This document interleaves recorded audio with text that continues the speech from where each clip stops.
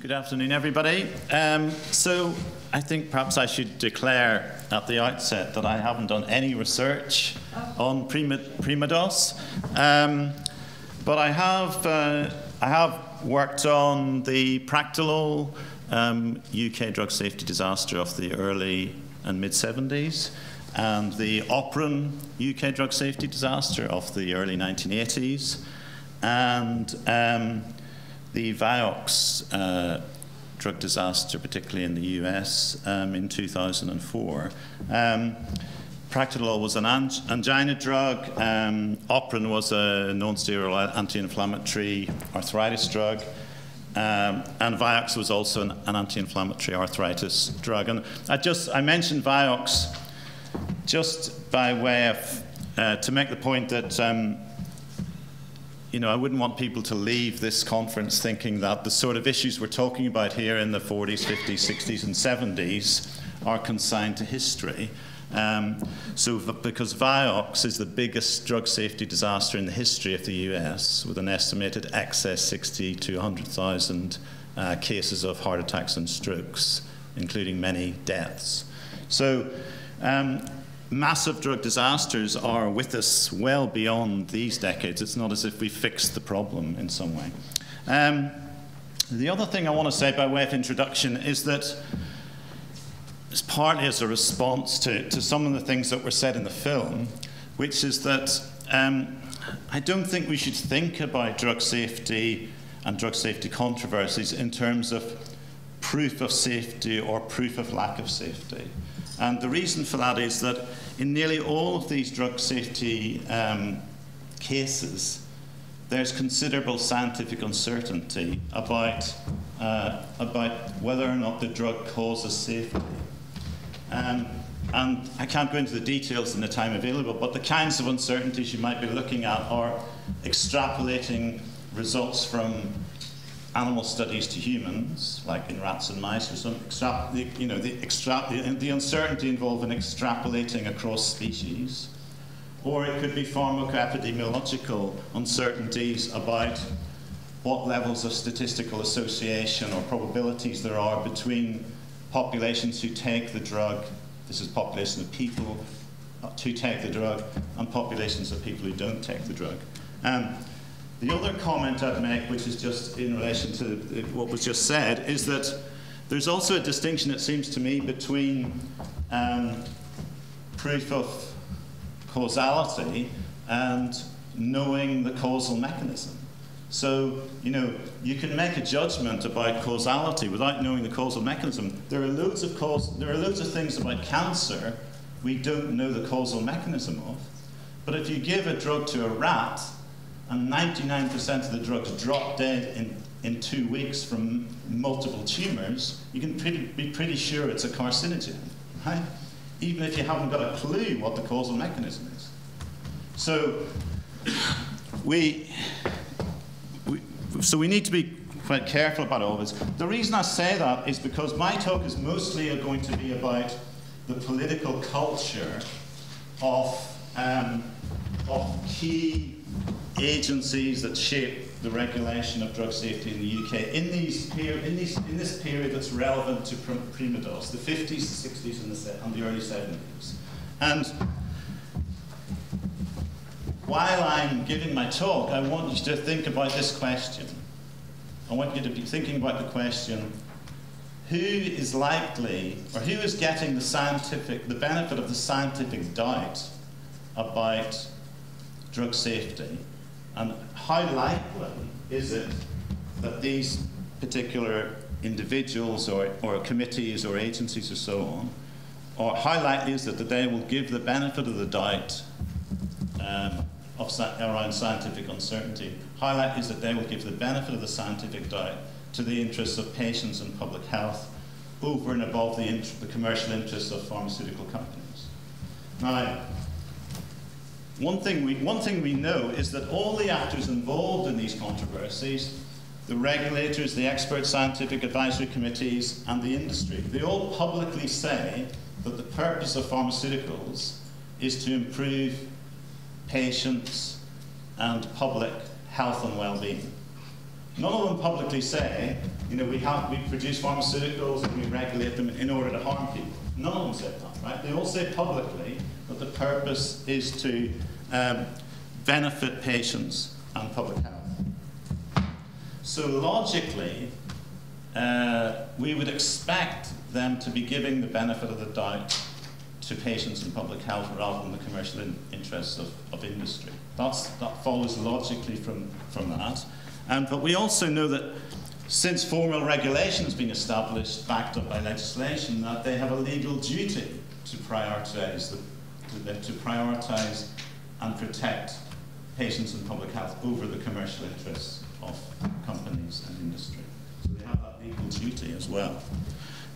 Okay, so bearing all that in mind, let's now look at how do, how do, these, how do these expert committees and regulators and industry, how do they talk to each other about these issues?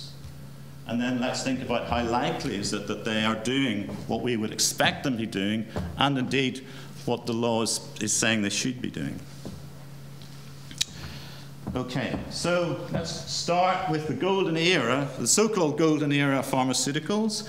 So this is uh, the 1930s. We get the antibacterial sulfate drugs are, are discovered and developed, and then we get penicillin and antibiotics. So this is golden era of magic bullets that, that the pharmaceutical industry has produced. Um, and this motivates, this together with the, this together with the creation of the, the NHS in 1948, motivates really the beginnings of some sort of patchwork of formal, semi-formal UK drug regulation.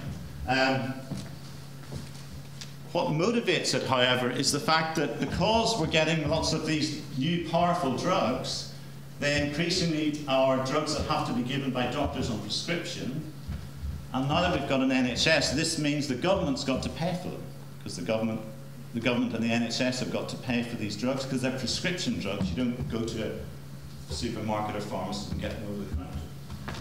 So as you can see here, we, we get a trebling of the, of the cost of drugs to the state in, in, in, in this period in 1951 compared with before we had the NHS, when things were dealt with under the National Health Insurance Act of 1911, when it was like people got medical benefit, but everybody didn't have access to NHS drugs. So the Ministry of Health, which is, would be now known as the Department of Health, the Ministry of Health establishes this thing called the Joint Committee on Prescribing um, under a guy called Lord Cohen. And he, he basically advises the Ministry of Health that what we need to do is we need to categorize drugs according to those that have some effectiveness or efficacy, and then drugs that basically have little or no efficacy, and we should say the drugs that have little or no efficacy shouldn't be prescribed on the NHS, right? So again, the focus is on the cost of drugs and drug efficacy at this, in, this in this period, not drug safety. But it does tell us interesting things about political culture. Because basically, the, uh, when the joint, the joint Committee of Prescribing suggests that we should uh, provide a list to doctors in the NHS, publish a list basically saying these are drugs that shouldn't be prescribed on the NHS. Um, and the Ministry of Health in 1951, in addition to that, concludes that there's basically no effective control in the UK over, over drug products uh, and that, that all the existing provisions are inadequate. So the industry then responds to this by saying, well, look, you know, um, we don't really like this. Um, I'll, I'll, read this quote really quickly, but it's quite telling. It says, if the well-known branded names of preparations disappear, they will no longer figure in the medical journals published here and be circulated widely overseas. And this will make it more difficult for the export industry to develop overseas the contribution of the industry should be taken as a whole, its help in reducing the problems of the Chancellor of the Exchequer by maintaining the value of sterling abroad should be put alongside its ability to deliver, to deliver the goods for our own health service. The two sets of factors are inseparable. So what the industry is saying is, look, we, you know, we're economically important to the UK economy, and uh, you need to be careful about you know, taking steps that undermine that, even if it means the NHS is paying for useless drugs. Effectively, that's what they're saying. But how does the government respond? Well, the, the, response of the Board of Trade, which would now be, which was subsequently known as the Department of Industry and now would be known as Department of BIS. Uh, so they say, well, they sort of say, well, yeah, you know, we're, we're very worried about this. We don't want to, we don't want to damage our, our industry. And um, so can we make sure that this list of banned, so-called banned drugs that the joint, that Lord Cohen's committee has constructed that are, lack any, lack any evidence of efficacy, can we keep it secret? You know, not tell anybody, you know. Um, so the reason I want to mention this, even though it's about drug efficacy and the cost of drugs, is that it's, it's, it's, part of, it's part of the development of the culture of secrecy around government regulation of the pharmaceutical sector.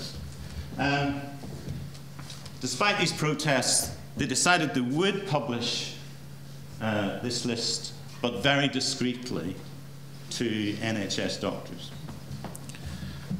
Okay. And over time in the 1950s, the government really gave up really accepted the pharmaceutical industry's argument that were, exports were so important that there should be no real no real government intervention in regulating pharmaceutical prices. So they, they developed this voluntary program, which is basically asking industry how would they want, how did they want drug prices to be regulated, and then they just and then they agreed a, a system. By 1958, they concluded basically this system hadn't made any savings hardly at all, so it had been ineffective, but it, it had been agreed with industry. Um, so there was a so this is, this is just to show you that how the government is reluctant to regulate the pharmaceutical industry in any sort of stringent way. And I think this comment at the bottom here is quite revealing. It says, well, unwelcome as restrictions were, there was a duty to safeguard the health of the public.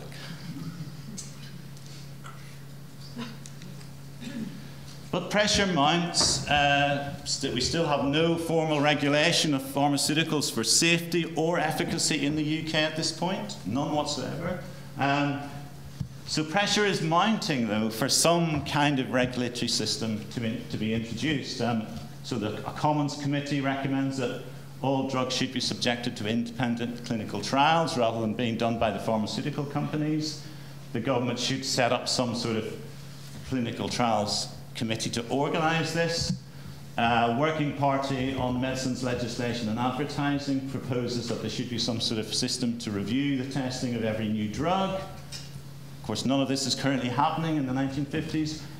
The Pharmaceutical Society of Great Britain says that there should be some sort of control of pharmaceuticals vested in the Ministry of Health instead of it all being controlled by the industry. Um, and even the industry itself, sensing that there was a tide you know, of, of, of government and parliamentary pressure to introduce some sort of regulation, suggests that there should be an independent voluntary trust uh, to vet new drugs. Because if, if there was an independent voluntary trust, at least at least it wouldn't be it wouldn't have the force of, of, of, law and legislation, but it would be a sort of a compromise that maybe they could live with. So this is the context in which the thalidomide disaster happened. So there was already there was already a move to do something about drug regulation before thalidomide, but it was motivated, and this is quite sort of the important point. Well, there are two, two important points from this part of the talk is that it was motivated by cost cutting for the NHS and, and, the, and the government. And secondly, when there was resistance from the pharmaceutical industry, the government became entirely reluctant to act largely accepted the industry's priorities. So we get thalidomide.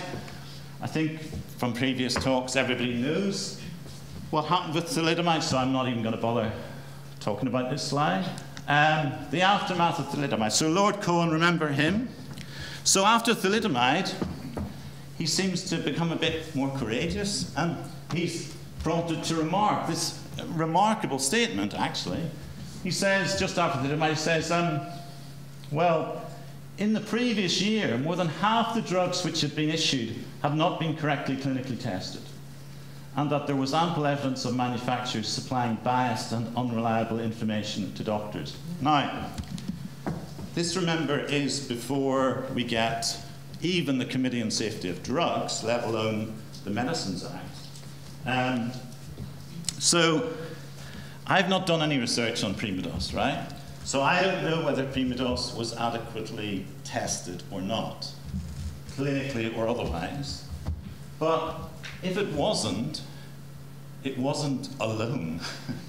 you know, this is telling us that Lord Cohen, you know, the most senior scientific advisor to the government in this area at this time, is saying more than half the drugs which have been issued have not been correctly clinically tested.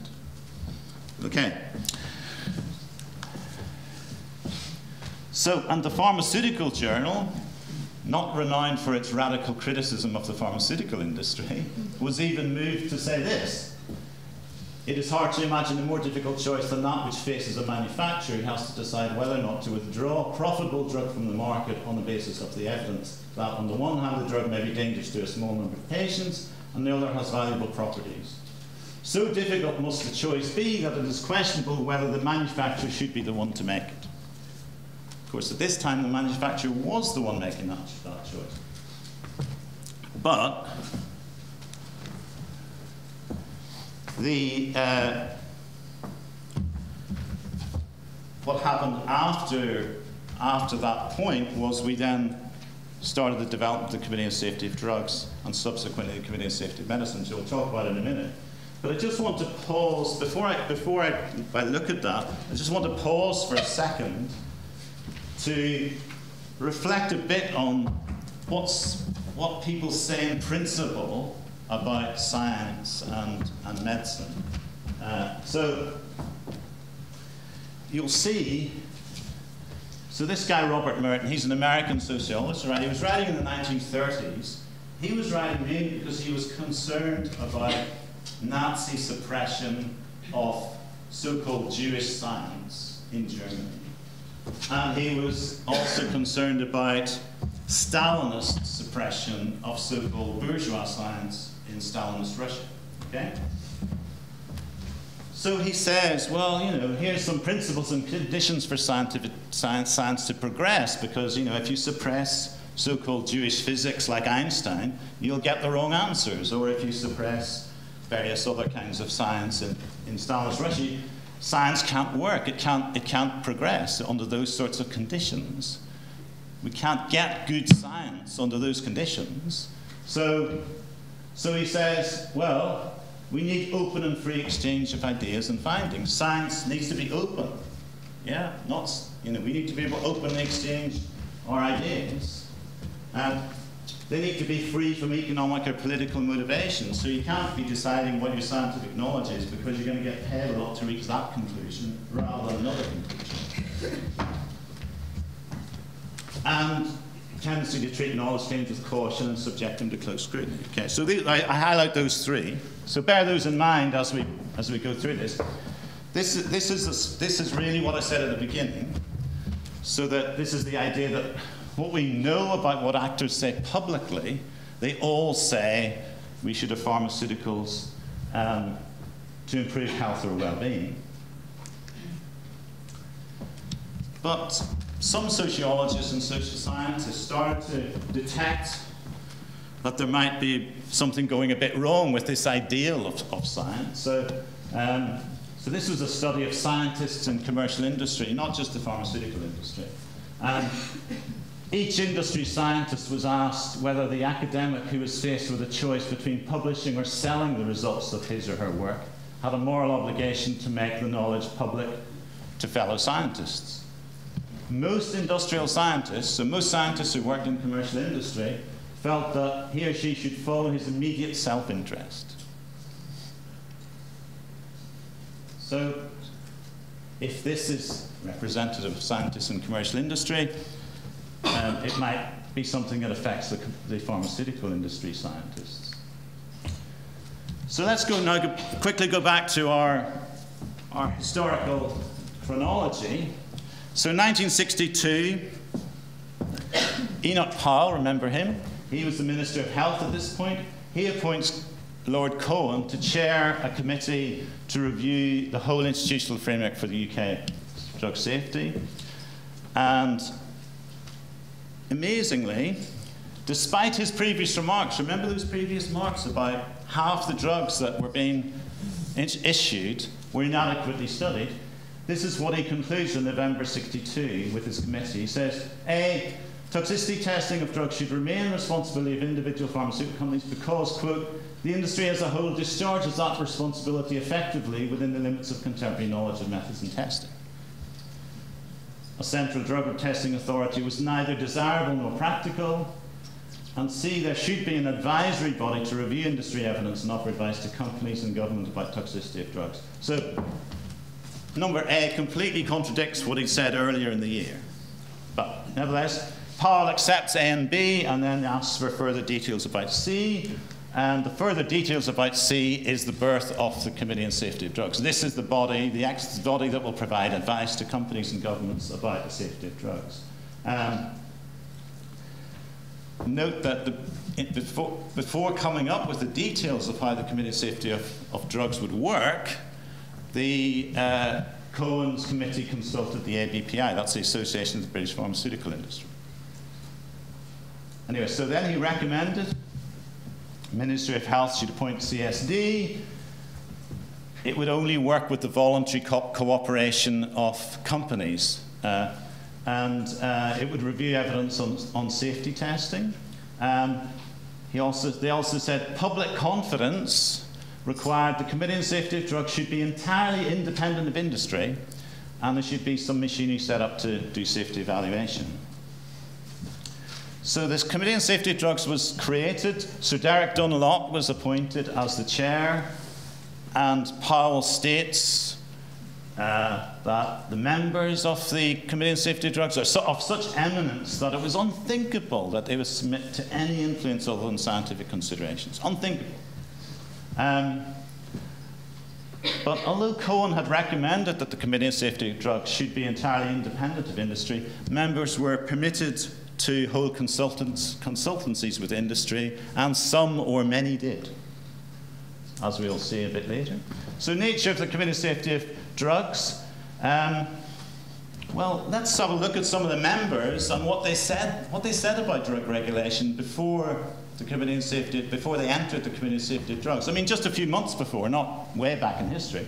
So, in 1962, Professor Wilson, who is a member, so this is what he thought about the topic. So he asserted and assumed if a drug is shown to be harmful to animals, its use in man is not contemplated. And every reputable pharmaceutical firm and clinical investigator ensure to the best of the current knowledge that all the appropriate investigations have been done before the drug is given to man. So his view, so he enters the process with an entirely rosy positive view of how the industry works before the, before the committee's even looked at any evidence or done any work. Um, so perhaps that tells us something about how he, how he will envisage working in, in the committee. Um, so the Committee on Safety of Drugs, it begins operating on the 1st of January 64. The ABPI undertook not to market or submit to clinical trial any drug without approval of the Committee on Safety of Drugs. And kind of in exchange, I suppose, the Committee on Safety of Drugs agreed that the entire process should be confidential. So this is the direct origins of the totally secret nature of drug safety regulation in the UK. What, how did the how did the Committee on Safety of Drugs work? You know, how, how tough was it on the industry? Well, we get a bit of a sense of that if we look at some of the outcome data that is available, so, so first of all, the Committee Safety of Drugs, its review of drug company evidence was rapid. Uh, on average, a new molecular entity, so this is an entirely new drug, um, on average, they would review the evidence in three months. In the first year, just 15 of the 600 applications were rejected. That's 2.5%. And just 99, 16%, um, did the CSD actually ask the company, oh, can you give us a bit more information? And in 1966, the Committee on Safety Drugs annual report stated, it is fully recognized that a committee such as this might exercise a detrimental effect on pharmaceutical research progress by unduly delaying the introduction of a possibly valuable drug. So it gives you perhaps a sense of their priorities. Committee on Safety of Drugs also uh, initiated the Yellow Card Adverse Drug Reporting System, which some of you are probably aware of. Another characteristic of the Committee on Safety of Drugs, which I think was slightly alluded to in the film, is the incredibly small resources allocated to it. Um, and this is, I think this is nicely illustrated by this quote from um, one of the medical assessors, a guy called Cahill, at, for the Committee on Safety of Drugs. So he says, um, one is often asked how the committee managed to comply with its terms of reference with so small staff. The answer is decentralization, which means, since there is nowhere else to which we can decentralize, decentralization to industry. But other people who've talked about their experience of working in the, with, the, with the, in the CSD suggests that this has consequences. So so another former member says, looking back, I see only one major error in our performance, which I suggest was a rather positive uh, spin, but let's leave that aside for the moment. We were so aware of the enormous cooperation that we received from the drug industry that the main committee made every effort to see that submissions from firms were handled as rapidly as possible. As a result, the Adverse Reaction Subcommittee and the work of that sub subcommittee suffered. So let's now quickly look at the lead up to the formal uh, legislation for pharmaceutical regulation in medicines, the 1968 Medicines Act. So, the, how was this shaped? Uh, and of course, initially it was a medicines bill going through Parliament.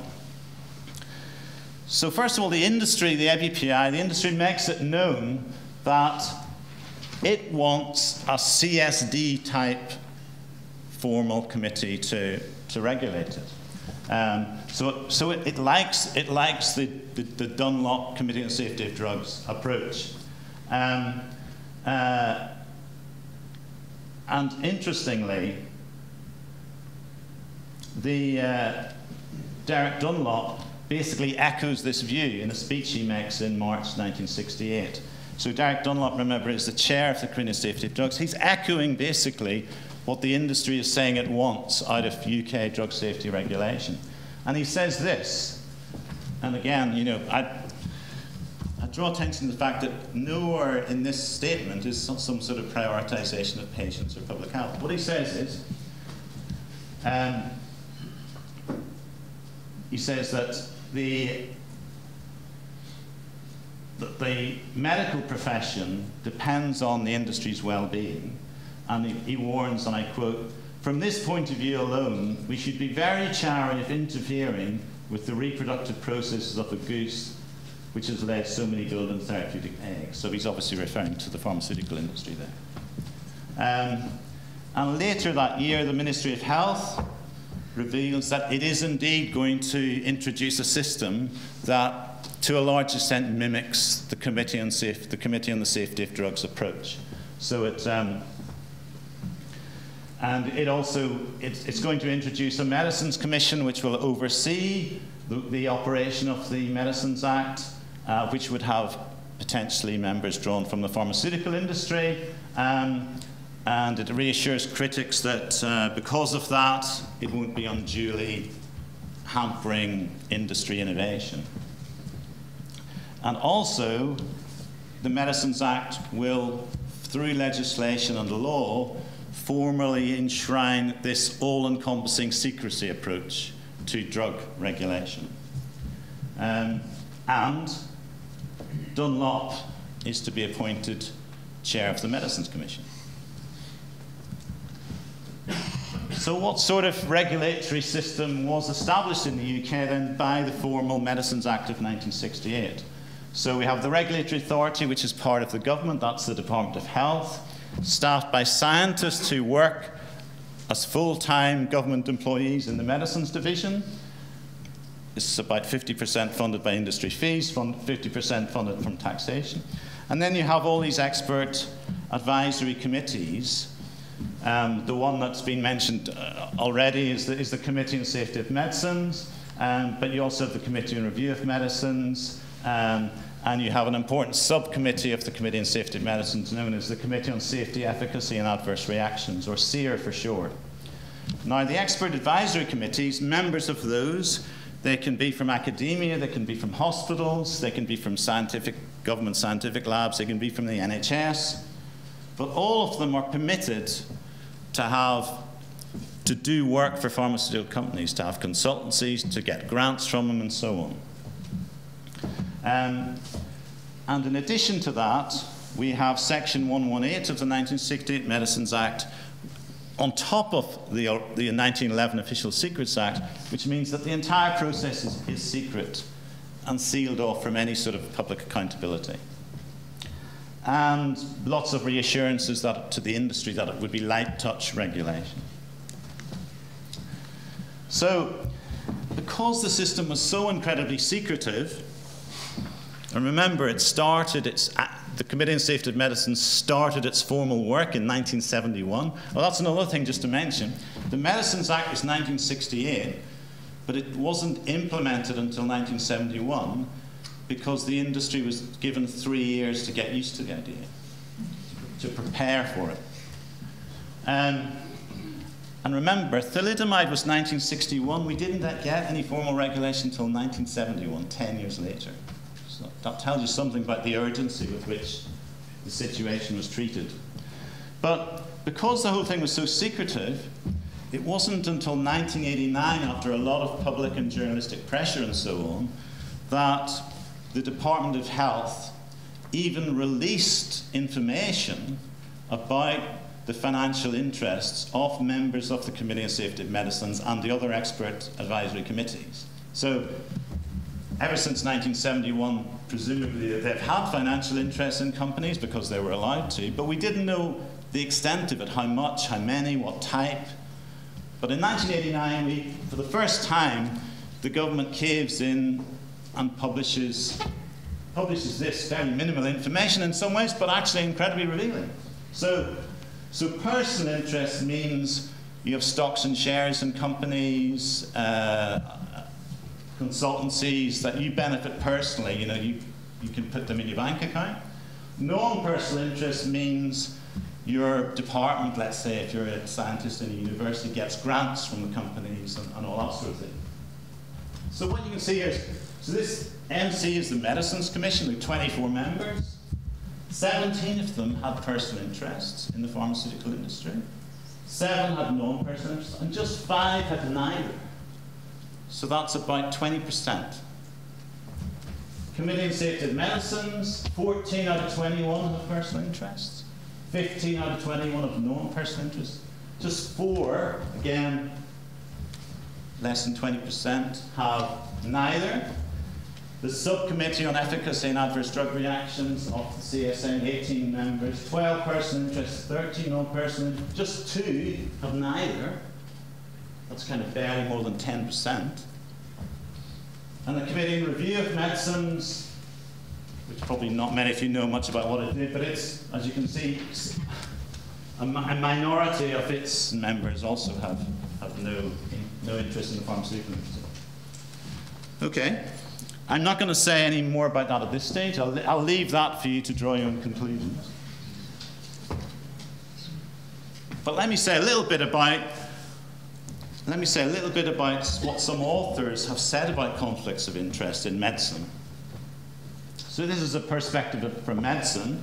Um, this is a guy called Jerome Kassirer. He's former editor-in-chief of the New England Journal of Medicine. So any, any of you who work in medicine will know that the New England Journal of Medicine is arguably the most prestigious medical journal in the world. So this is what he says about conflicts of interest in medicine. He says, Conflicts of interest are institutional weeds. They take root below the surface and become pervasive problems, often long before they show their ugliness. They breed distrust. Aside from harm to patients, they can undermine judgment and integrity and lead to self deception. But so, but I think in some ways more interesting and revealing is to see what industry people say about conflicts of interest.